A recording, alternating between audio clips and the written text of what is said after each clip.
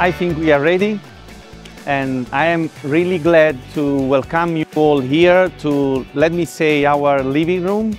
And if you are here, you are investing your time, maybe it is because you want to know how and why photobiomodulation could play a role in the scenario of AMD treatment. So first of all, I want to thank you all for your presence and I will try to give my best not to be boring. And I am here to unveil our preliminary results of our ongoing multicentric uh, clinical trial named Lightwave 1. We all know that age-related macular degeneration is the leading cause of visual loss in the developed country and also the third cause of visual loss worldwide. So we should keep in mind that we are talking about a retinal disease with an important impact of our societies. There are three different stages of AMD there is the early AMD, the intermediate AMD, and then we have the advanced AMD that consists of the atrophic form and the neovascular form.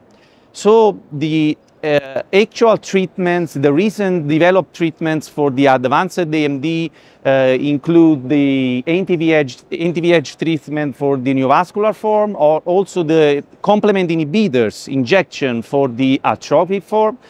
But if you think about it, if we wait for the advanced form to occur, maybe it's too late. So an ideal treatment and uh, the best treatment for our AMD patient would be in the intermediate form rather than in the advanced form. But why? Because if we wait for the advanced form to develop, what we see is a central scotoma, an important metamorphopsia, and at this point we can perform every treatment we want, including injection, complement inhibitors, but usually the scotoma only reduces over time, and the same is for uh, uh, metamorphopsia and for the visual loss. Conversely, if we treat our patient in this stage, when we have intermediate AMD, things are going better because patients usually have a, a, good visual acuity, a good contrast sensitivity. So this is the best ideal stage where we should treat our patient.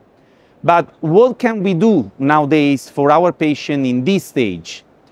Nowadays, we can only tell them, okay, we have to follow up you every six months because you have a high risk to progress towards the advanced form. And once again, we know that the atrophic form accounts for the 80% of form of AMD, and it has been estimated that about 2,080 million people will be affected by AMD in 2040.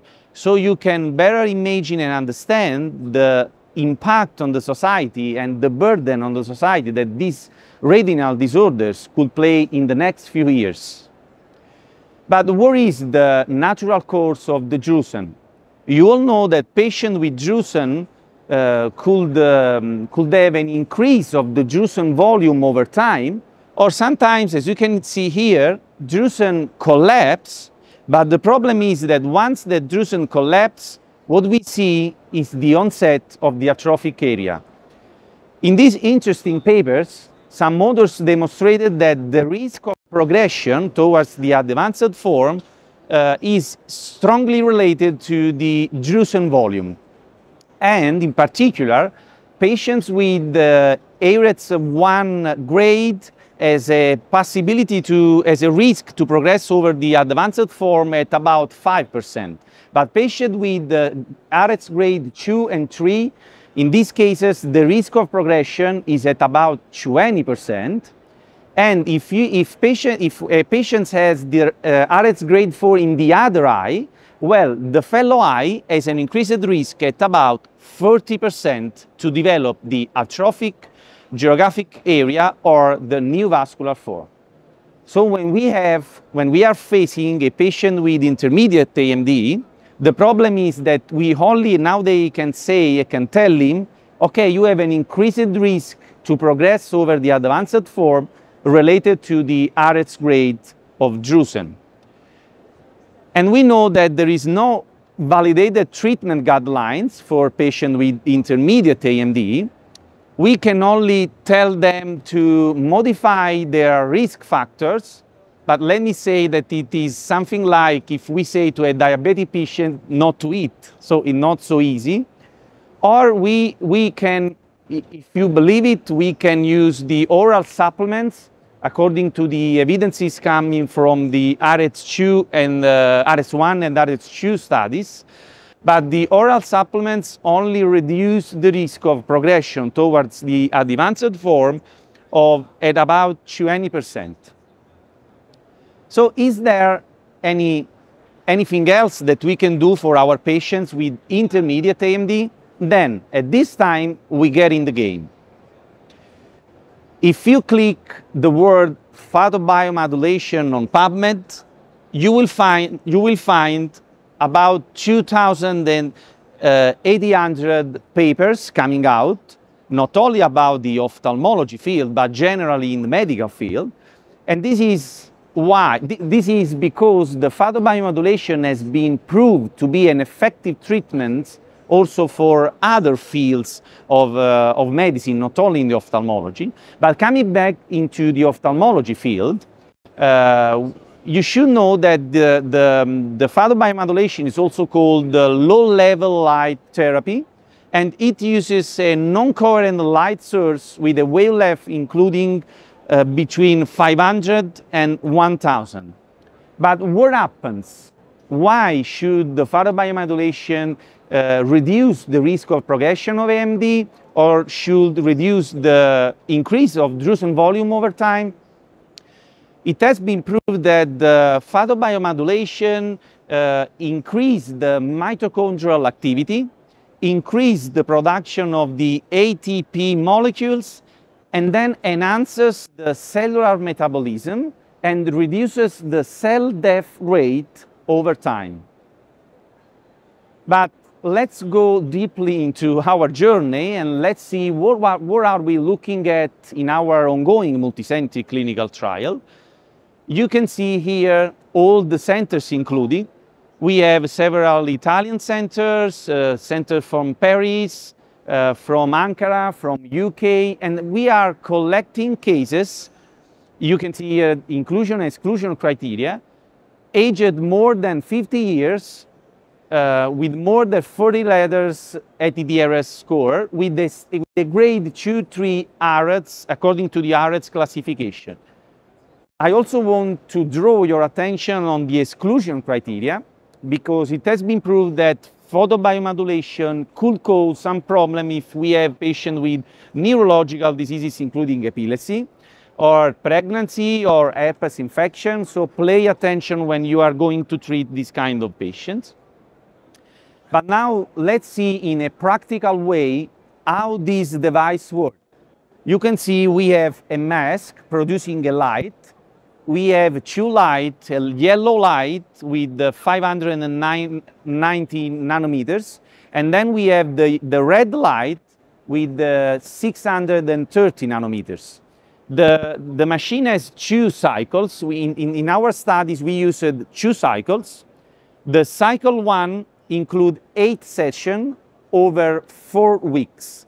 It means that we do the stimulation at, on Monday, on Friday for four weeks. And then we repeated the cycle after four months for the cycle two. Here you can see what we were talking about because we have five minutes with eyes closed, then we have one minute with the eyes opened. And the same is for the red and yellow light. In this, in this image, you can see all the, the imaging that we are doing on uh, these patients. Of course, we measure the best correct visual acuity, we perform color, FAF, spectral domain OCT, we perform OCTA, contrast sensitivity, the redness score, and also the microperimetry to see the retinal uh, sensitivity changes over time. You know, in my opinion, in this kind of trials, the best correct visual acuity should not be considered the primary outcomes because usually patients with intermediate AMD has, has a good visual acuity. So we are focusing on, as I told you before, on the drusen volume changes over time and also on the retinal sensitivity evaluated by the microperimetry. I know that you want to see some cases, so we set up two examples of our, of, uh, of our cases from our ongoing multicentric trial, and this is the case one. We had a patient aged uh, 68 with a visual acuity of uh, 50 letters. We performed the cycle one treatment, including eight sessions, and then we performed the, the follow-up evaluation at one month and four months. What you can see here, after one month of treatment, is an improve, improving of the visual acuity of five letters, but also I want to draw your attention on this image. You can see this is the line 27, the first line, and you can see a gradual reabsorption of the drusen, not followed by any increase of the backscattering or any atrophic area onset. Here you can see another line, 28 line, and look at here, we can clearly see a drusen volume reduction over time. Once again, in this other picture, we can see drusen basolaminar material and we can see how over time the material starts to reduce it without any legacy of atrophy. But I also want to show you another case, a very interesting case, of a patient aged uh, 55 uh, with what we call non-neovascular age-related macular degeneration with subretinal fluid. His visual acuity was very low and uh, it was 25 letters. He complained a lot and um, he visited several centers but without the, the, our my colleagues did not uh, give him any, uh, any treatment so he decided to come to our clinic and we decided to start a photobiomodulation treatment with a complete cycle one, followed by one stimulation every two weeks. Let's see together what happened. Here we have the patient at baseline. You can see this huge, massive pigment epithelium detachment. And I told you that we call this phenotype non-neovascular AMD. You can also see some drusen that you can better see here. There is the subretinal fluid. So what we demonstrated in this paper is that if you inject this kind of patient with anti-VEGF, or if you wait and see over time, there is only one way, and it is the collapse of this huge PD leaving a, a, an important central uh, atrophy area. On the other hand, what we observed after the cycle one and after the bimonthly stimulation, after two months, you can see a gradual lowering of this huge PD without any interaction or rupture or disruption of the retinal pigment epithelium. And what I'm telling you is also proved by the autofluorescence image. You can see here, it, it, it looks pretty healthy, except for some drusen. And also this impressive retinal sensitivity map. We evaluated the retinal sensitivity with the microperimetry. And as you can see, what we saw was a, a, a really interesting improvement of the mean retinal sensitivity from uh, a 7.4 decibel value to a 26.5 mean retinal sensitivity. I can truly tell you that patient was very happy because he visited several colleagues, several ophthalmologists that only told him, I cannot do anything for you because if I inject, there is an increased risk to, to the PD to collapse. If I wait, the risk is almost the same. So he was really happy. He had a, an important improvement of the visual acuity to 60 letters. And we are also treat, we have treated other two cases with the same diagnosis and things are going very well. So in conclusion, I can say and we can say together that maybe in the near future, the photobiomodulation could represent a new treatment in the scenario of AMD, especially for intermediate form. And as told before, if we calculate that about 280 million people will be affected uh, by AMD in 2014, I think that you can say together with me that this uh, treatment has a, an important potential value in the management of AMD for our clinic. It could reduce the, the costs related to the management of, of the intravitreal injection and also re reduces the burden on the society related to the relatives and family of the affected people. If you want to know more about our ongoing trial, that it is almost concluded, or if you want to join the second multicentric trial, you can scan this QR code. We will evaluate at your center and we will be happy to join you on board. Thank you very much for your attention and I will be very happy to answer any question or to make discussion with you.